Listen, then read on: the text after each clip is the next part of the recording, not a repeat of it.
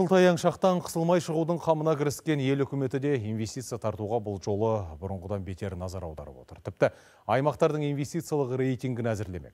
Қаржылық бәсекеде қай өңір оза шабатын уақыт көрсетер, ал әзірге нақты нәтижені қолға алынған жобалардың құнына, санына қарап бағамдаймыз.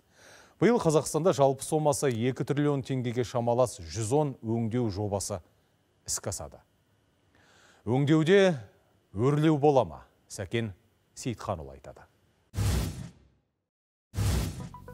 Өңдеу өнеркәсібін өрге бастыратын 110 жобаның бірі Атырауда салынады. Мәселен, биыл Қашаған кен орнының шикізат базасында қуаты 1 миллиард 150 миллион текше метр газды өңдейтін зауыттың құрылысы басталады.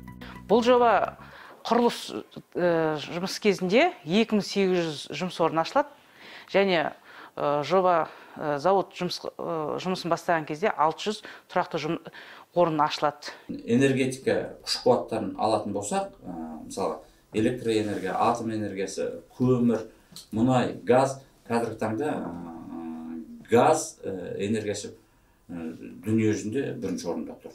Сұраныс өте үлкен. Иә сондықтан инвесторлардың қаншалықты сол газдан пайда табамыз деген есебі бұған күш болады. Мұнай өндіру ісіне салынып жатқан инвестиция да аз емес қазір. Өйткені қара алтын бағасы қанша құбылса да одан түсетін пайда азайған жоқ. Мәселен бүгінде бір баррель мұнай 60 ақш долларынан асып тұр. Дәлел ретінде айтайын теңгиздің мұнайы қазір өну құны жеті доллардың төңірегі болатын болса тасымалдаумен он екі доллар. Қазірдің өзінде жаман пайда көріп отырмыз. Қашағандағы мұнай өндіру құны он бір он екі доллар тасымалдаумен он жеті доллар қазірдің өзінде біз жаман пайда көріп отырған жоқпыз өкінішке орай біздің қазақстандық азаматтар игеріп отырған жер қойнауындағы мұнай бағасының өндіру құны өте жоғары өйткені жаңа технологияға көп көңіл бөлмей жатыр жаңа технологияның арқасында мұнайдан түрлі заттарды шығаруға болады. Мәселен біздің елдің мұнайын импорттап отырған еуропа елдері түрлі майлар мен химия саласына қажетті өнімдерді жасап отырғаны жасырын емес. Сондықтан біздің қара алтынға сұраныс артпаса еш кемімек емес. Біздің мұнайдың басым бөлігі жетпіс пайызға жуығы тек қана еуропаға кетіп жатыр. Өңдеу мұнайдың. Германиядағы әр үш литр бензиннің бір литрі қазақстанның мұнайынан өндірілген сондықтан бұл жерде біздің тұтынушы нарығымыз еуропа болғандықтан бұл да үлкен септігін тигізді. Өйткені еуропаның экономикасы шынында да әлдеқайда көш ілгері оның сыртында еуропада халықтар өте тығыз байланысқан. Шикізаттан яғни мұнайдан түсетін қаржының арқасында экономиканы тіктеу мүмкін болып тұр. Мәселен жаһанды жайлаған пандемия көп елдің әлеуетіне әсер етті. Бізге де салқыны тиді. Бірақ үкімет халық алдындағы әлеуметтік міндеттерін орындап бақты. Салыстырмалы түрде қарайтын болсақ әлем елдері тіпті одан да үлкен құлдырауларды көрсеткен. Мысалға соның ішінде ең қатты минус 10-12 пайызға дейін құлаған италия мен испания мемлекеттерін алуға болады. Және европаның көп мемлекеттері де бес пайыздың үстінде. Ақшты алыңыз японияны алыңыз бес минус бес пайыздың шегіне дейін құлдыраған ары қарай. Ал бізде енді олмен қарағанда минус екі де алты пайыз құлдырау болды. Олармен салыстырғанда тәуірміз деп айтуға болады. Тәуірміз деп тоқмейілсіп отырған үкімет жоқ. Осы аптада үкімет басшысының қатысуымен бірнеше жиын өтті. Барлығында елдің экономикасын алға бастыру жайы қаралды. Кәсіпкерлерге жағдай жасап өңделген өнім көлемін арттыру жайы сөз болды. Мәселен өңделген өнім шығару ісінде жақсы көрсеткіш көрсеткен өндіріс орындары баршылық.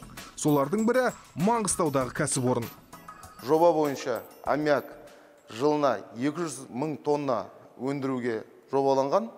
Қазіргі таңда біз сол жобаның жүйесін төңірегінде жұмыс жасап жатырмыз биыл біз одан асып кетуге дайындалып отырмыз. Осы сынды ілкімді жобалардың көп болғаны ләзім. Соны есепке алып осы аптаның басында үкімет басшысы асқар мамин біріккен араб әмірліктеріне барды. Премьер министр құны 2 миллиард доллардан асатын инвестициялық жобаларға қол жеткізді. Қазақстан мен біріккен араб әмірліктері бұрыннан серіктес мемлекет. Осыған дейін бірлесіп біраз жұмыстарды атқарды. Мәселен қуаты 16 мың тонна болатын қорғаста зауыт салынды. Бұл бір ғана дәлел. Енді қос тарап еліміздегі ауыл шаруашылығын дамытуға күш салмақ. Біздің келесі жобамыз ауыл шаруашылығы. Сонымен қатар жеміс жидектерді қайта өңдеуге басымдық береміз. Алғашқы қадамды осы наурыз айында бастаймыз. Егістік биыл басталады. Біздің басты мақсатымыз қазақстандағы ауыл шаруашылығын дамыту. Ауыл шаруашылығы өткен жылы өсім көрсеткен бірден бір сала. Сондықтан оны ары қарай дамыту негізгі басымдықтың бірі болып қала береді. Жалпы тенденцияны қарайтын болсақ негізінен ә, бізде ауыл шаруашылығында алдыға қарай өсімдер бар. Ә, және де ә, экономиканың нақты секторы және соның ішінде ә, машина жасау бойынша да белгілі дәрежеде алдыға қарай іркілістер бар. Және де ең үлкен үлесті алып тұрған бұл ә, жаңа құрылыс саласы болып тұр. Қазіргі уақытта енді біраз осы зейнетақы қорынан да қаражат аударылып ә, көптеген түрлі мемлекеттік бағдарламалармен тұрғын үйді салуды қаржыландыру процесі орын алып отыр. Осы тұрғыдан келген кезде өткен жылы 15-те 15 миллион шаршы метрден асып жығылатындай тұрғын үй эксплуатацияланған. Осындай бір өсімдерді көріп жатырмыз дегенмен қызмет көрсету саласындағы көрсеткіш көңіл көншітпейді бұны пандемиямен байланыстырамыз. Сондықтан болса керек қазіргі күні кәсіпкерлер түрлі амалдар жасап онлайн сауда жасау ісіне бет бұрды. Бұның нәтижелі боларына сенім бар бірақ уақыт керек. Сарапшылардың пікірінше алдағы екі жылда экономика қарыштап дамымаса да қарыстап алға басады.